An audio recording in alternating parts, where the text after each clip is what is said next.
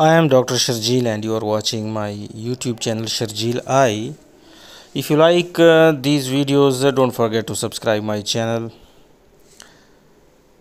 Now, mostly nowadays, uh, I upload ophthalmic signs, which are the silent videos, and you have to diagnose uh, the conditions uh, in the videos, uh, and then you have to write in the comment section that what you think of that condition is.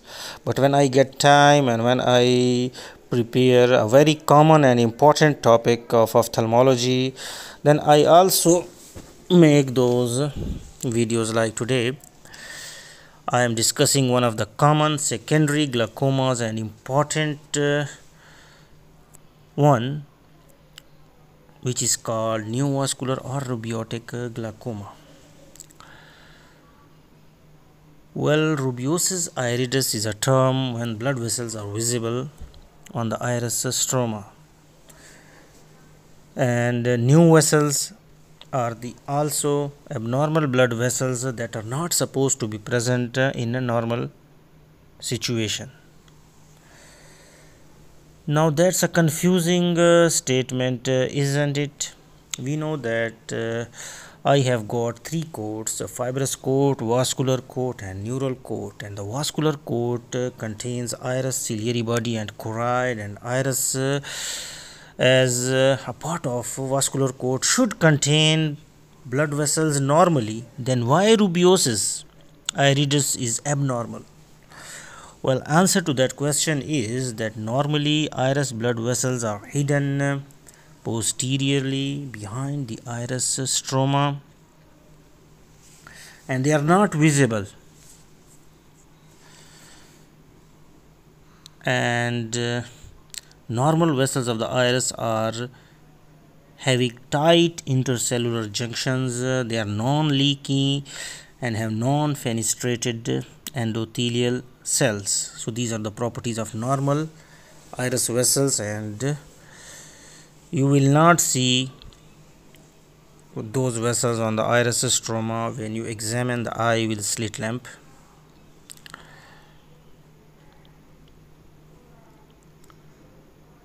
so the vessels uh, which becomes visible on the anterior surface uh, like you can see in this video all around the pupil on iris uh, you can see these red tiny zigzag uh, irregular blood vessels. So the vessels uh, which becomes visible on the anterior surface of the iris are abnormal and they are formed as a result of retinal ischemia and these abnormal vessels have gaps in endothelial cells they are leaky on anterior segment fluorescein angiography. There are fenestrations uh, in endothelial cells of these abnormal vessels uh, and they also are accompanied by fibrovascular membrane consisting of proliferating myofibroblasts. And these fibroblasts have got smooth muscle differentiation that lead to contractions and ectropion uveae, peripheral anterior synechiae formation and angle closure.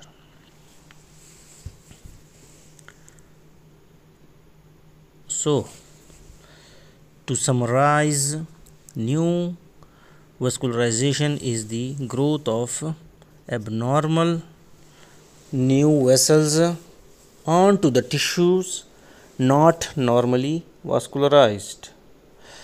These are fragile, leaky, they have no tight intercellular junctions and that's why hemorrhages do occur. New vessels uh, in the posterior segment uh, like on the optic disc uh, and on the retina can lead to vitreous hemorrhages. And new vessels uh, in the anterior chamber angle and on the iris can lead to hyphema as well as neovascular glaucoma. So how it causes uh, angle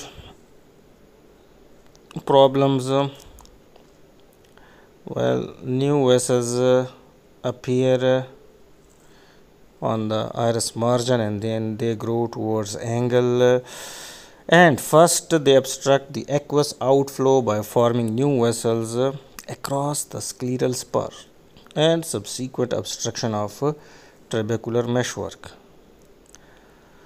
Now, as I have uh, mentioned earlier, these vessels are not alone, they are accompanied by a fibrous tissue.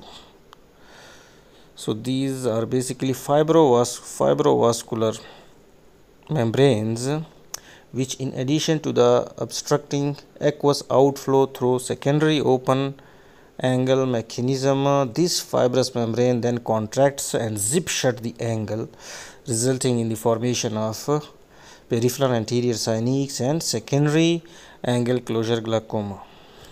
So it's a unique uh, disease having secondary open angle as well as secondary angle closure mechanisms Retinal ischemia in neovascular glaucoma occur due to variety of conditions but in majority of cases retinal ischemia is due to ischemic central retinal vein occlusion or proliferative diabetic retinopathy. Other risk factors are intraocular tumors, ocular ischemic syndrome, irradiation, carotid cavernous fistula, carotid occlusive disease, and vascular disorders. Now, we will talk about how retinal ischemia, ischemia drives the new vessel formation.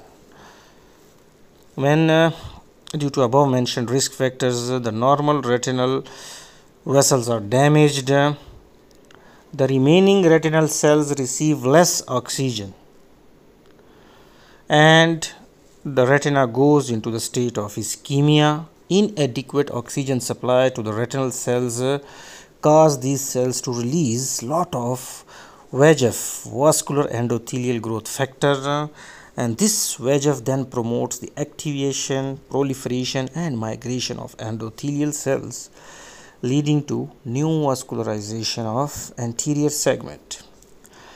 Abnormal iris vessels uh, form and they then go towards uh, angle uh, and first they obstruct the angle by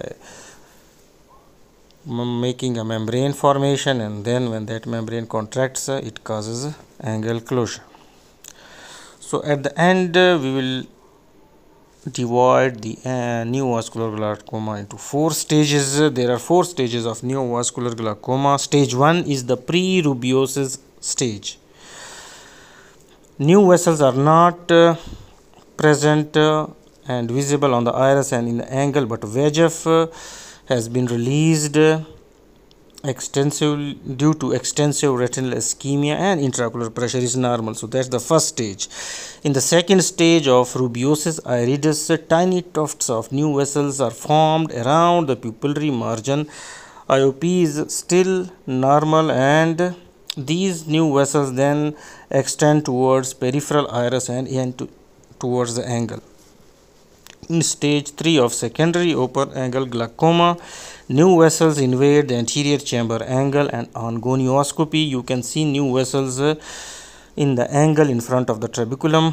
But angle is uh, still open. You can see all the structures and IOP can be normal or most of the time elevated due to secondary open angle mechanism.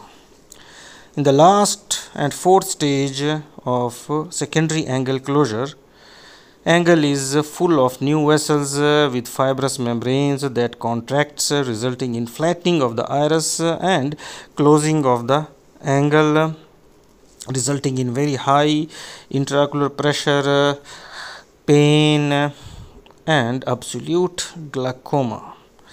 So these are the four stages of neovascular or rubeotic glaucoma. We have discussed in detail that why retinal ischemia causes uh, formation of the new vessels uh, and what are the differentiation of normal iris vessels and abnormal uh, and in the next video we will discuss the management of this most important neovascular or rubeotic glaucoma. I hope uh, your concept will be clear now. Thank you very much